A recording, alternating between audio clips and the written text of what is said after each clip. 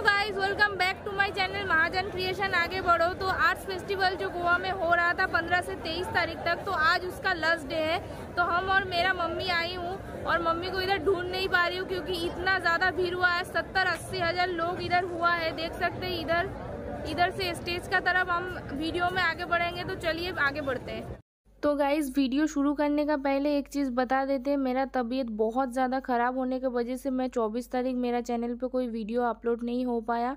तो चलिए आगे बढ़ते हैं, ये जो सिक्योरिटी आपको देख रहा है, ये सिक्योरिटी मेरे को ऐसे अटका दिया है, ऐसा लग रहा है बिना पास का मेरे को अंदर जाने ही नहीं देगा। फिर मैं बोला, भैया, मैं तीन दिन से यही कर रही हूँ ब्लॉग बना रही हूँ, आप ब्लॉग देख लो। फिर बोला, ठीक है, मैम, आप अंदर जाइए। तो आज इतना भीड़ इसलिए हो रहा है, सत्तर अस्सी हज़ार लोग इसलिए हुआ है क्योंकि हमारे बीच में best playback singer Shilpa Rao ji आए हुए हैं गोवा में। इनके लिए इतना ज़्यादा भीड़ है, सत्तर अस्सी हज़ार लोग। तो चलिए आगे बढ़ते वीडियो में। आज का जो भीड़ है और पूरा जो वीडियो है आप लोगों के साथ शेयर करेंगे तो वीडियो में शुरू से लेके लास्ट तक बनी रहिए और चलिए फास्ट गाना आप लोगों को सुना देते हैं।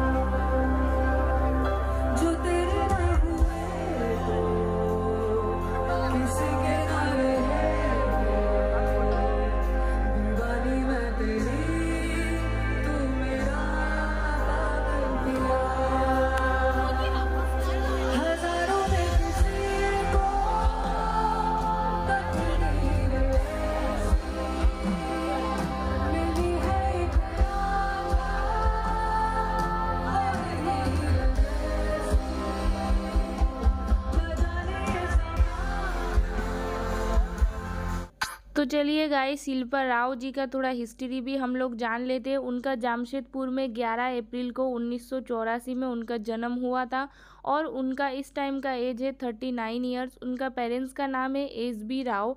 उन्होंने 2009, 2010, 2020 में Filmfare award for best playback singer के लिए मिला था। IIFA award best flavour singer के लिए मिला था 2009 2010 2020 और 2017 में जी सिनेमा अवार्ड मिला था बुलिया सॉन्ग के लिए 2017 में मिर्ची अवार्ड भी मिला था बुलिया सॉन्ग के लिए। उसके बाद उन्होंने इस उम्र में नुक्का वालया, चलेया, रमाया, वस्तामया, तेरे हवाले, बेसरम रंग, मलंग सुबहान अल्लाह घुंगरू अल्लाह माफ़ करना, इश्क शवा कलंक, बुलेया और मोने रेडियो, ये बंगाली सॉन्ग है और तमिल में भी बहुत सारा सॉन्ग गाए हैं उन्होंने। तो उनका बारे में जितना भी बोलूँ उतना कम है, क्योंकि इस उम्र में इतना ज़्यादा प्लेबैक गाना, इतना हिट सॉन्ग देना और इनका स्टेज प्रोग्राम मैं कैप्चर कर पाई हूँ, उसके लिए भले ही मेरा गर्दन दुख जाए या बुखार में ही मैं जाऊँ उनका वीडियो कैप्चर करने के लिए तो मैं बहुत ज़्यादा लकी हूँ, क्योंकि दूसरा साल में 2024 में उन्होंने नहीं आने वाला है, दूसरा साल में कोई और आने वाला है तो इसीलिए मैं बुखार में ही चली गई उनका ये प्रोग्राम कैप्चर करने के लिए। तो आप लोगों को इनका गाना भी थोड़ा सुना देते हैं, किस लेवल का भीड़ था और लोग कितना ज़्यादा इन्जॉय कर रहा था। यहाँ पे सत्तर अस्सी हज़ार का बीच में खड़े रह के उनका वीडियो पकड़ना ये भी बहुत नसीब का बात है। चलिए सुन लेते हैं।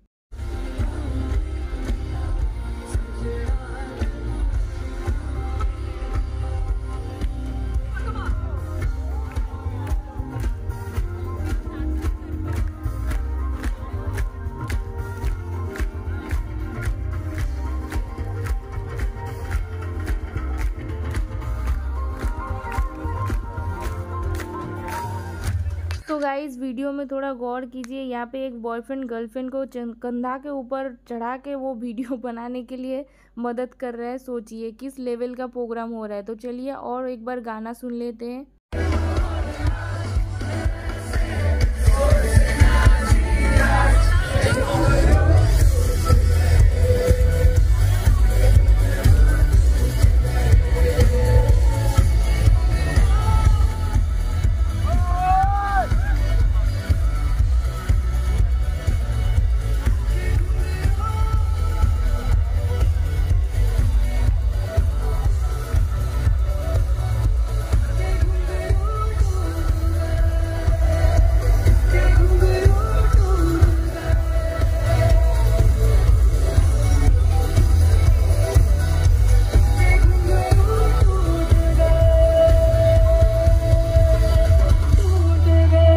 सच में घुंघरू टूटने वाला ही परफॉर्मेंस हो रहा था। फुल ऑफ़ एनर्जी के साथ उन्होंने गाना गा रहा था और हम लोगों को इन्जॉयमेंट दे रहा था। सच में बहुत ज़्यादा इन्जॉयमेंट हुआ है और पब्लिक का रिएक्शन तो आप देख ही सकते इसका बाद वाला गाना भी सुन लीजिए।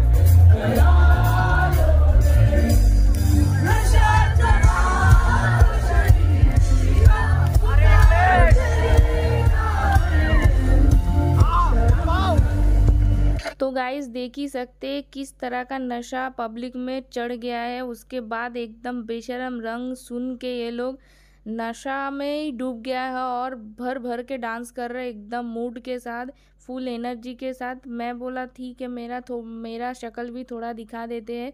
पर मेरा बुखार आ गया था, इसीलिए मैं, मेरा शक्ल दिखा के भी कुछ फ़ायदा नहीं, क्योंकि मेरा फेस ही बहुत ज़्यादा ख़राब लग रहा था। तो चलिए नेक्स्ट गाना भी आप लोगों को सुना देते हैं।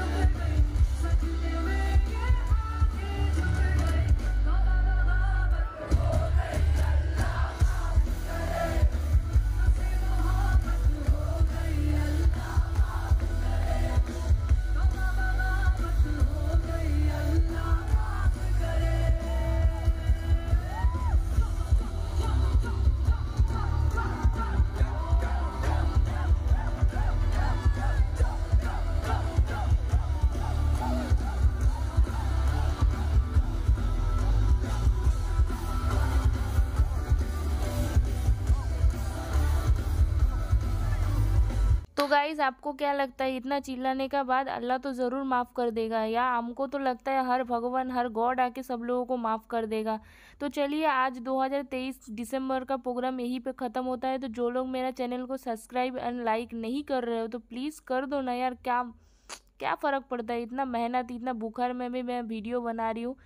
तो चलिए, मिलते हैं नेक्स्ट वीडियो में। 2024 में इसी जगह में यही प्रोग्राम होगा। Ta-ta, good night.